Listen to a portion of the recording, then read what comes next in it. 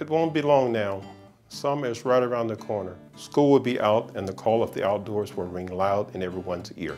But summertime in Texas also means heat, a lot of heat. That's why it's important to both take precautions to avoid the dangerous effects of the sun and to understand when you're pushed too far and a trip to the emergency room is in order.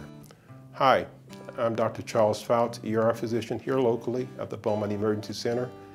I too am looking forward to some time in the pool, hanging out at the beach with friends and family, but I also understand that the sun does not play favorites when it comes to the damage it can do.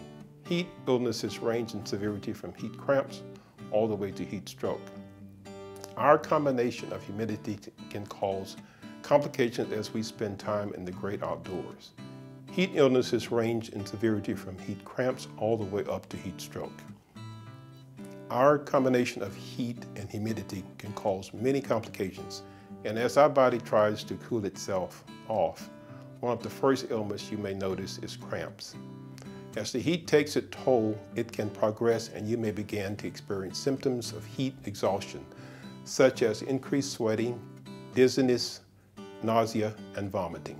At this point, you're at risk of heat stroke and a trip to the emergency room is imminent.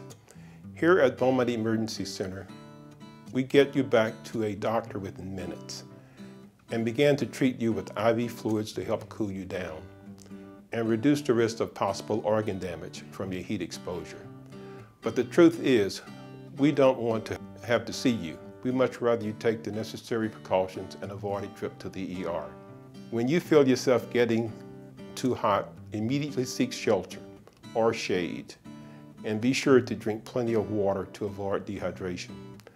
I also encourage you to place a cool towel around your forehead. Find some air conditioning and even some cool water to sit in.